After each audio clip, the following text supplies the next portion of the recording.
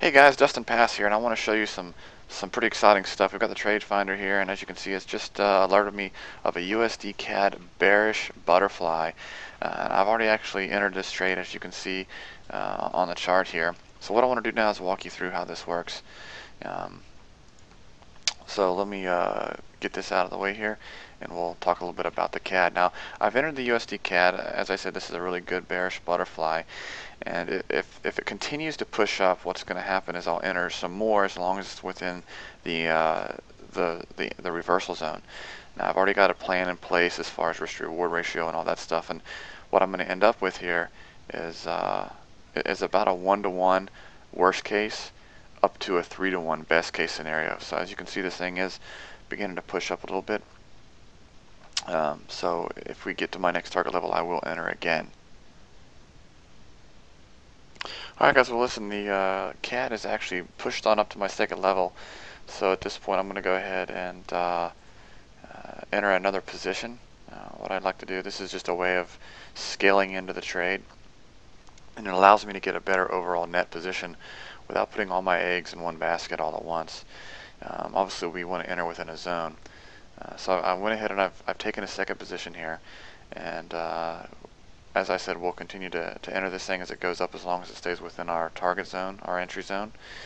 And uh, with with this second entry our um, our win-loss ratio or I'm sorry our risk reward ratio has just uh, increased quite a bit. The stops that I'm going to be using on this now uh, and the targets we're going to be using gives us about a 3 to 1 so uh, overall really really good trade opportunity here. So anyway I'm gonna go ahead and uh, sign out here and then uh, as this particular trade progresses I'll come back and give you updates and, and kind of walk you through this trade step by step.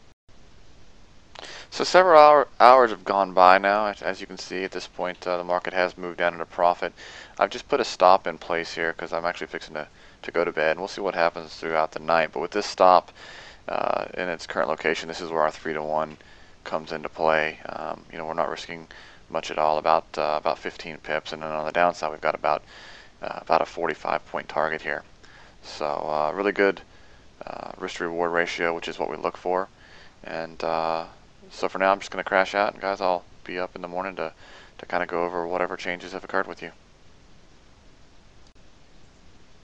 Alright guys, well through the night the market has just kind of gone into a range here and uh, anytime we see the market range like this it, it, gives us a good place to put stops and limits. So what I'm going to do now is adjust my stop. As you can see I've brought my stop down to pretty much lock in uh, any profit. So I've got one position where I'm locking in about 12 or 15 pips of profit and the other position I'm locking in one pip of profit. And uh, at this point I'm not going to worry too much with it. You know, we'll, we'll just follow this trade as it continues to play out. And uh, you know, if we see it break down uh, in the next uh, in a few hours we'll we'll look to clear our trade out and, and you know walk away with a nice little 45 50 pip profit Alright guys, I actually just got another alert here on the pound, so I'm going to go take a look at it. Uh, you can see the pound, we got a 30 minute and a 1 hour bearish Gartley that popped up here all simultaneously. I'm mark these all as red, and then uh, we'll go check the pound out and see what it looks like at the moment. Why this, uh, this particular trade here is doing its thing. So we got a sell on the pound. So uh, just at a, a, quick glance on the 30 minute and the one hour, um, my risk reward ratio is currently not in check. So I'm going to pass on this. Now if we get the uh, pound to move up higher, it may be something worth taking. But for now I'm going to pass on this. So we'll, jump back over and continue to watch this CAD. Uh, which is literally just a few pips away from taking us out uh, on our 50 point target. It is finding a little bit of support here. And uh, anytime that happens, you know, sometimes it's a good idea to go ahead and clear um, at least a portion of your trade just to go and, you know, make sure that you do uh, walk away with uh, with a good amount of profits. You hate to give up 20, 30, or 40 pips because uh, you get greedy over just one or two. So what I'm going to do is I'm going to go ahead and clear out my uh, my lower entry, the one that's at 99.54. and uh, I'll just leave the upper entry in at this point. I'll go ahead and adjust the stop on that one down as well, just to protect our position here a little bit. I'll put the stop at around 99.40.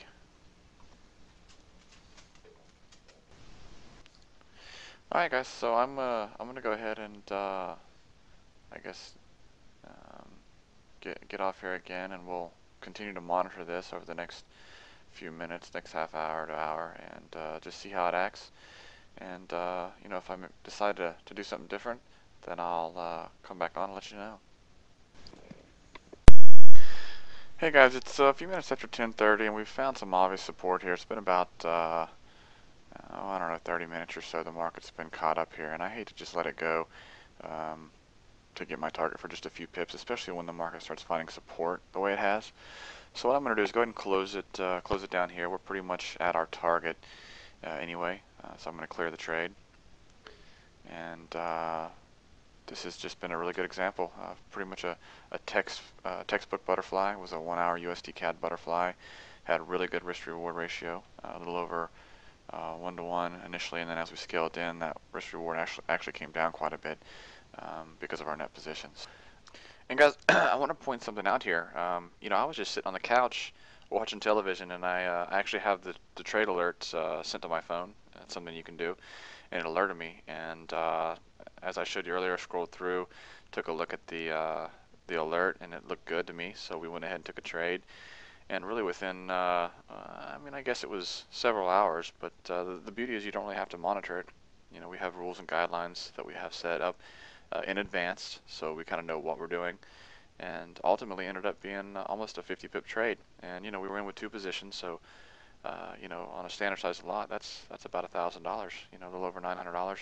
I know everyone is at a different level in their trading, so for you that may have only been $90 if you were trading on a mini account, but, you know, it could have been uh, 900 or it could have been 9,000. Uh, the, the, reality is that um, you know everyone is at a different position, and what's key to understand here is that uh, you know these happen all the time, and it's important that you know which trades to take, meaning which patterns are worthwhile, and then once you do take them, how to profit from them, uh, you know how to be successful with them, and uh, you know one of our biggest uh, challenges to overcome is the fact that there's so many of these each day. You know, there literally are hundreds of these patterns that form each day.